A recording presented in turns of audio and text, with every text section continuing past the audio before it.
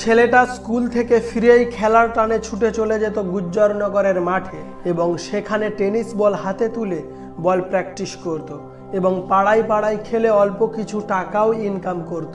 এমনকি বারো ওভারের প্রতিটি ম্যাচেই শুরুতে বল করতে পাঠানো হতো এই তরুণ পেশারকে। প্রথম দু ওভারের মধ্যে ওপেনারদের ফিরিয়ে দিতে পারলেই তার জন্য পুরস্কার ছিল নগদ একশত টাকা। তার বলের গতি দেখে মুগ্ধ হতো সকলেই।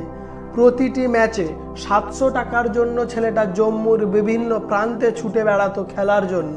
ম্যাচে সেরার পুরস্কার হিসাবে কখনো ঘরে আনতেন মিক্সার, কখনো হেয়ার ড্রায়ার। পাড়ায় পাড়ায় টেনিস বল খেলা একুশ বছর বয়সের সেই ছেলেটাই এখন ভারতীয় পেস বোলিংয়ের নতুন তারা। ভারতীয় দলের হয়ে দক্ষিণ আফ্রিকায় খেলার টিকিট হাতে পেয়েছে সে। ষোলোই নভেম্বর রাতে জম্মু থেকে দক্ষিণ আফ্রিকার উদ্দেশ্যে রওনা দেবেন।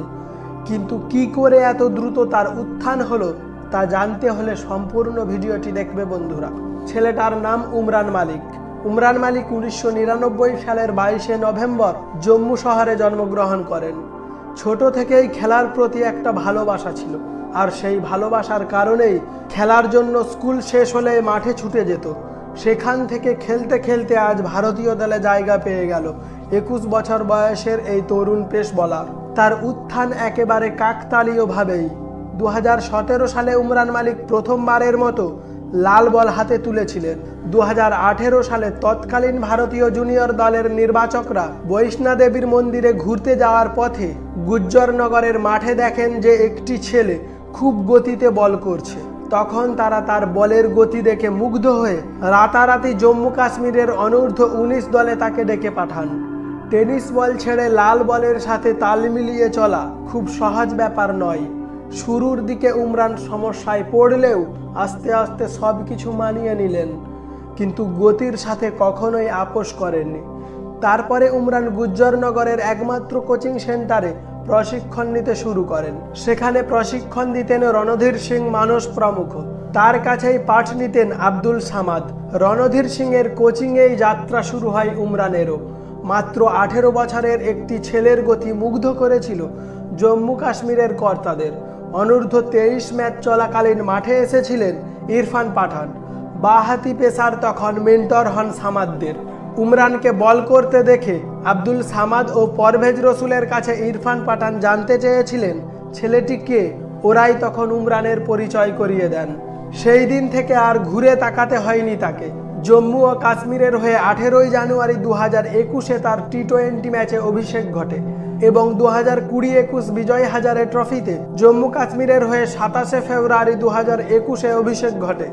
দু হাজার একুশ সালের এপ্রিলে তিনি ইন্ডিয়ান প্রিমিয়ার লিগ অর্থাৎ আইপিএলে সানরাইজার্স হায়দ্রাবাদের জন্য তিনজন নেট বলারের একজন হিসাবে নির্বাচিত হন। দু হাজার একুশে অক্টোবরের তিন তারিখে ইন্ডিয়ান প্রিমিয়ার লিগের উনপঞ্চাশতম ম্যাচে কলকাতা নাইট রাইডার্সের বিপক্ষে আইপিএলে তার অভিষেক হয়। সানরাইজার্স হায়দ্রাবাদ এবং রয়্যাল চ্যালেঞ্জার্স ব্যাঙ্গালোরের মধ্যে খেলার সময় তিনি মনোযোগ আকর্ষণ করেছিলেন।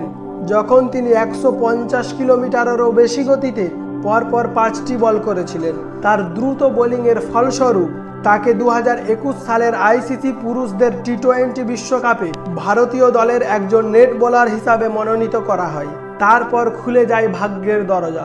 আইপিএলে তার কীর্তির সাক্ষী প্রত্যেকেই। কিন্তু তারপরেও একটি বড় পরীক্ষা দিতে হয়েছে একুশ বছর বয়সী এই পেশারকে ভারতীয় দলের নেট বলার হিসাবে সংযুক্ত আরব আমির শাহিতে ছিলেন প্রতিযোগিতার শুরুর দিকে। সেখানে আরও একটি কীর্তি গড়েন উমরান। একটিও নো বল অথবা ওয়াইড বল করেননি নেটে। আউট করেছেন হার্দিক পান্ডিয়াকে কেএল রাহুলদেরকে। জাতীয় দলের নেটে তার ছন্দ দেখেই মুগ্ধ হয়েছিলেন স্বয়ং বিরাট কোহলি। তিনি বলেছিলেন, বিরিয়ানি খাওয়া ছেড়ে ফিটনেসের ওপরে জোর দিতে হবে তোমাকে। মোহাম্মদ সামি এবং জসপ্রীত বুমরার থেকে ও অনেক পরামর্শ পেয়েছে। দক্ষিণ আফ্রিকা সফর থেকেই উমরানের জীবনে নতুন অধ্যায় শুরু হতে চলেছে। তরুণ পেসারের এক্সপ্রেস গতি তাকে আন্তর্জাতিক ক্রিকেটের মঞ্চে পৌঁছে দিতে পারে কিনা তা সময়ই বলবে। এই উমরান মালিক যেন ভারতীয় ক্রিকেটকে আরও সফল করতে পারেন, তার জন্য তার প্রতি আমাদের সকলের তরফ থেকে অনেক অনেক শুভকামনা রইল।